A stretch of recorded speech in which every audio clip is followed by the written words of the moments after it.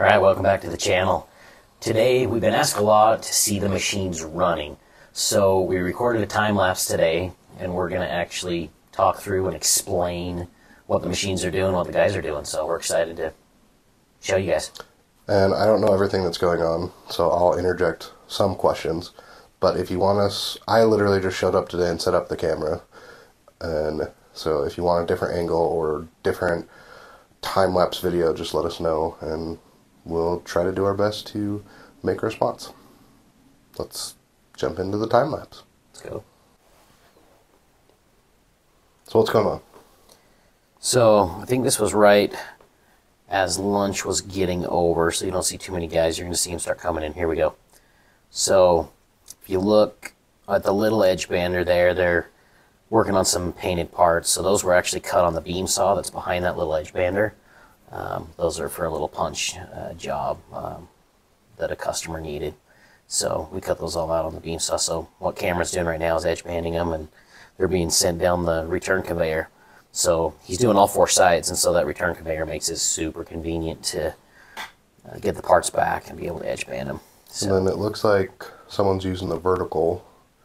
So that's for like secondary type operations usually, but if they cut the stuff on the beam saw and didn't do like a nested operation, would they also be potentially doing something for the backside or is that a different job altogether? so it just depends. That what he was working on there was drawer blanks. So we cut the blanks to size on the saw, and then he was putting the dados in them. On there, getting them prepped for this job. You can see all this white melamine flying through the edge bander right now, and that's actually being cut on the CNCs. So this is kind of going to be a cool video because we have two different really things that we're working on today. Um, cabinet parts, which is what you're seeing right now, and then we have painted parts, which we, you'll see a little bit more of in a minute.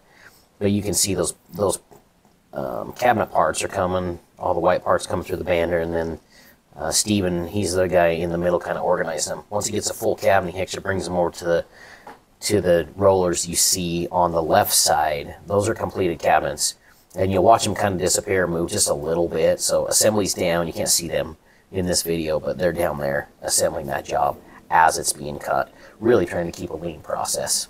So this is the one piece flow that we talked about in the video earlier what that saved you three million dollars because now you're more organized, more structured and getting cabinet boxes done and out the door rather than on pallets and just everywhere. Yeah, so before they would um, put all the cabinet parts on that roll line that you see kind of just to the right of the middle of the screen, and then they would have pallets there. They would stack those cabinets on pallets. We would roll them over to another area. They would sit there until they're ready to be assembled. Now we don't even start cutting the job until it's time to assemble it.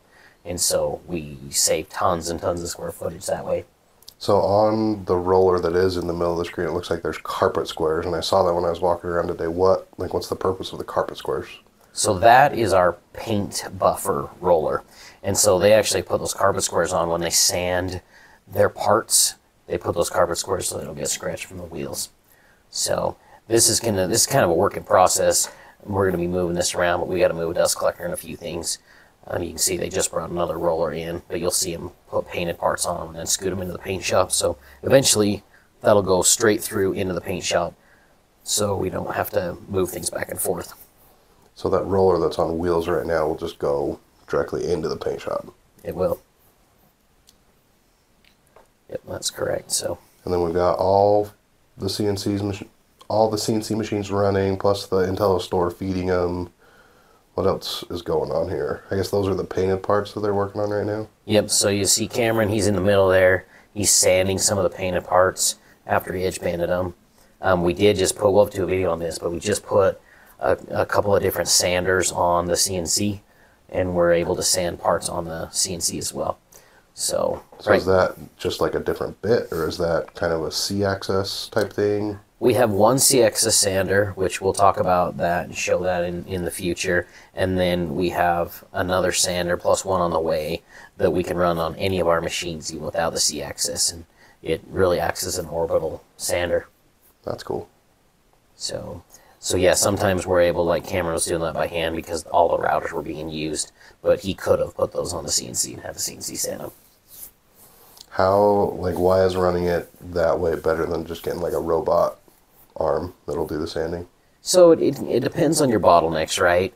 And so, you know, in lean, you always want to use your head, not your wallet. So those robot sanders are amazing. Um, and I would expect that one day we will have one. But right now, after we added the IntelliStore, we don't use the full capacity of our CNCs. We don't we don't need to run them solid all day long, and so we can use the capacity on the CNCs to sand. Where eventually we'll have to cut so many parts, then we'll want to do an offline sander. But right now, it doesn't make sense to do that. Whereas in the future, when we need to add more capacity, it will. So now it looks like they're just kind of wrapping up for the day, cleaning up. Yep. There's not many cabinets around. Nope, they pretty much built that entire job, and then you can see on those rollers, right, kind of straight in the middle of the screen toward the bottom, those painted parts are pretty much ready to go into the paint booth. So they'll go in tomorrow. So, with like, so I set up the camera on a dust collector, and you said you're mm-hmm. moving dust collectors. Are you moving all of the dust collectors? Every dust collector will get moved eventually. We're going to put most of them outside in some sheds. How many dust collectors do you have right now? Um, we have four. And so all four are going to be changed. Because one of the questions or comments that was in the comments of a video was that it it appeared that you, there's a lot of wasted overhead space, but your building is 16 at the peak and 12 at the edges.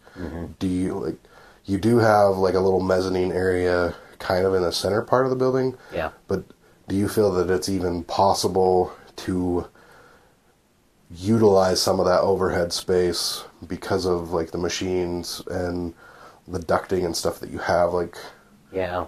So in the machine area, and you can kind of see in the video, the ducting has to go above the the IntelliStore, and the IntelliStore is I think about 13 feet high, and then I have to have the pipes running above that. So as far as utilizing space above the machinery, there's no space above the machinery. We have to have that height for the dust pipe. Um, we you have to have the dust pipe high enough too above the machines that you can get flex in your in your hoses so they can move around correctly. So in the machine area, no. We've thought about maybe adding some mezzanine space above in the assembly area, kind of where you were talking, extending that mezzanine out for uh, maybe putting some custom areas up top or some different things. So that may happen in the future, but but currently um, that would only have to go down the be able to go down the center of the building because the rest of the building's too short at the 12 feet. But right in the center, it's possible. got it i think that pretty much kind of sums up this video kind of a this was a half day i came in about noon and dropped it off so this was about a half day's worth of work um, is this a common like busyness was this kind of slow like how would you rate I would say day? it, it was kind of a medium day. They had they ran one cabinet job and a whole bunch, like three or four painted jobs um, today. So we're really trying to focus on getting parts to our paint area right now, where um, cabinet the cabinet side we're we're doing pretty good. Plus we have some offline fixtures that we're building as well that were run last week that they're building. So we really we have plenty for the assembly team to do. So we're trying to get paint caught up. Got it.